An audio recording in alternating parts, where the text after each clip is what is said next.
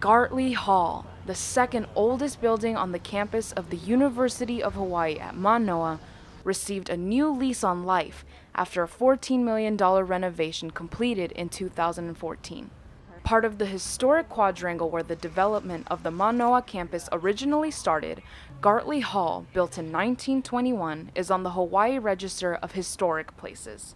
The renovation of the 24,480 square foot, three level structure followed preservation guidelines to minimize the impact to the historic features of the building. As noted in a November blessing ceremony, Gartley Hall is also a model in sustainability for features that include photovoltaic panels, a solar tube system that provides natural lighting, and Energy Star lighting and equipment. We can be proud that today's event celebrates the modernization of instructional and office facilities in an energy efficient, sustainable manner. And we have a LEED Silver certificate to prove it. A great accomplishment and a model for our renovations of the future.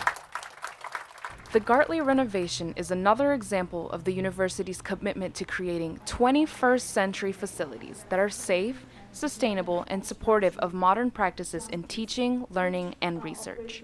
Gartley Hall is home to the UH Manoa School of Social Work, named in honor of noted humanitarian and leader in the preservation of the Hawaiian culture, Myron B. Thompson. Pinky Thompson, for us, was um, a man who was a representation of all the goodness in mankind.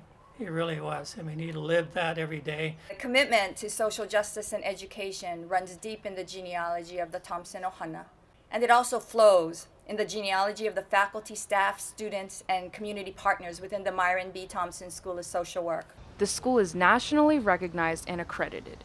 It offers bachelor's, master's, and PhD programs and is committed to the advancement of social work and the achievement of social justice. Through strategic priorities of community engagement, the utilization of technology for cutting edge education, teaching global social justice within a Hawaiian place of learning.